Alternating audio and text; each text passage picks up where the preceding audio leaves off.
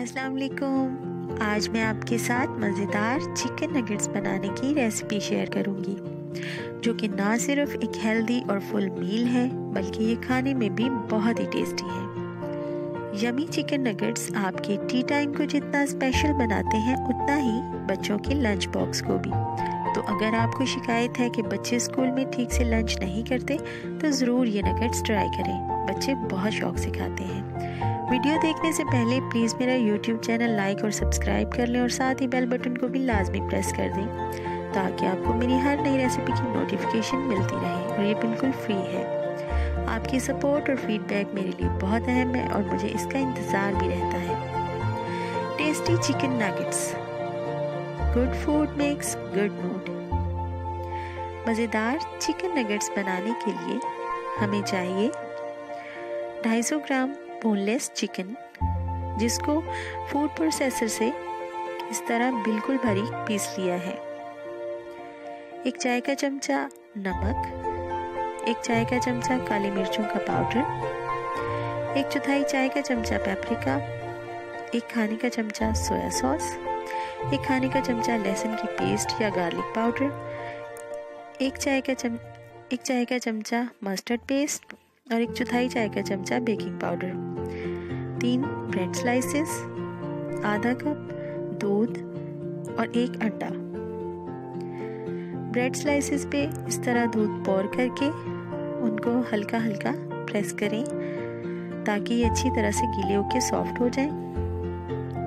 अगर ब्रेड ज़रा खुश्क है तो आप दूध को आधे कप से थोड़ा बढ़ा भी सकते हैं। इस तरह से, अच्छी तरह से मिक्स करने के बाद इसके अंदर तो एक एक करके स्पाइसेस डाल दे जाएँ, जैसे नमक, काली मिर्चों का पाउडर नगेट्स में नमक और मिर्चें ज़्यादा अच्छी नहीं लगती, बस हल्का सा टेस्ट आना चाहिए। और बच्चे भी ज़्यादा तेज़ नमक मिर्चें नहीं खाते। गार्लिक पाउडर अगर अवेलेबल नहीं है तो लहसुन की पेस्ट यूज़ कर सकते हैं। अब इसके अंदर चिकन जो हमने बारीक पीस लिया है, वो ऐड करके अच्छी तरह से मिक्स कर लें। अंडे को, अब इसके अंदर थोड़ा सा जो बेकिंग पाउडर है, वो डाल के अंडे को अच्छी तरह से फेंट के आधा इसके अंदर शामिल करके अच्छी तरह से मिक्स करके इस तरह का पेस्ट बनाना है, जिस तरह के गुंदा हुआ आटा होता है। ना ज़्यादा सख्त हो और ना ही ज़्यादा पतला। अब ये नगेट बनाने के लिए रेडी है। हाथ को अच्छी तरह से ऑयल के साथ ग्रीस कर लें। थोड़ा सा पोर्शन लेके उसको हाथ की हथेली की मदद से इस तरह राउंड शेप में नगेट्स बना लें। आप कोई भी शेप ट्राई कर सकते हैं अपनी पसंद के हिसाब से। जैसे कि ये। इस तरह बारी बारी सारे मिक्सचर के नगेट्स बना लें। नगेट्स बनाने के बाद इनको 30 मिनट के लिए फ्रीज़र में रख दें ताकि इनकी शेप जम जाए। अब कोटिंग के लिए आधा बचा हुआ अंडा, उसके अंदर दो चाय के चमचे कॉर्नफ्लोर डालकर थोड़ा सा पानी, दो, एक या दो खाने के चमचे पानी डालकर उसको अच्छी तरह से मिक्स कर लें। अंडे का मिक्सचर इस तरह से मिक्स होने के बाद उसके अंदर एक चाय का चमचा काली मिर्चों का पाउडर एक चौथाई चाय का चमचा और एक चौथाई चाय का चमचा ही नमक। डाल के अच्छी तरह से मिक्स करने के बाद बाद के इस्तेमाल के लिए साइड पे रखते हैं। साथ ही हमें ब्रेड क्रम्स चाहिए कोटिंग के लिए। 30 मिनट के बाद आप देख सकते हैं कि अच्छी तरह से शेप जो है वो सेट हो गई है। अब इनकी कोटिंग के लिए नगेट को पहले अंडे के मिक्सचर के अंदर अच्छी तरह से डिप करें और इसके बाद ब्रेड क्रेम्स के अंदर रोल कर लें। चाहे हाथ से या फोर्क से, जैसे आप इजीली कर सकते हैं। अच्छी तरह रोल करने के बाद साइड पे रख दें। इस तरह बारी बारी सारे नगेट्स को पहले अंडे में डिप करें और उसके बाद ब्रेड क्रम्स के अंदर रोल करके रख दें। वैसे अगर आप चाहें तो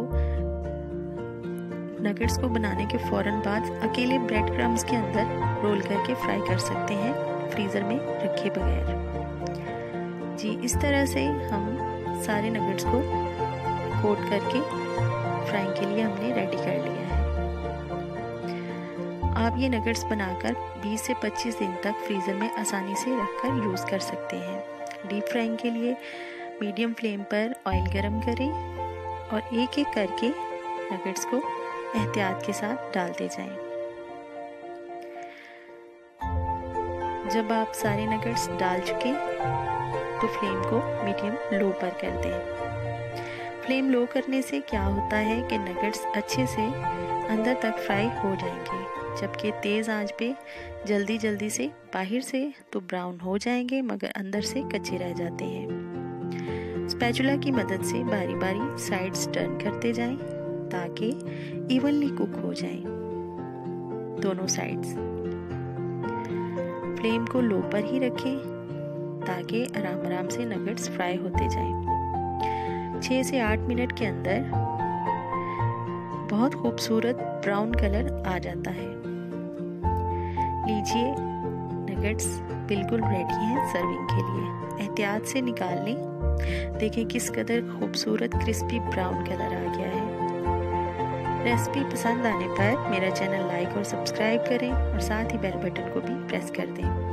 आपकी सपोर्ट और फीडबैक मेरे लिए बहुत मायने रखती है और मुझे इसका इंतज़ार भी रहता है। Good food makes good mood मज़ेदार चिकन नगेट्स इंजॉय करें टेस्टी चिकन नगेट्स केचप या चिली गार्लिक सॉस के साथ।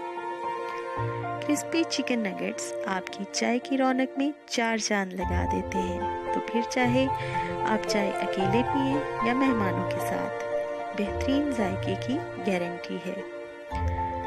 बच्चों के लंच बॉक्स के लिए भी ये एक आइडियल फ़ूड है। तो इंजॉय करें मज़ेदार चिकन नगेट्स। वीडियो देखने का बहुत बहुत शुक्रिया। अल्लाह हाफिज़।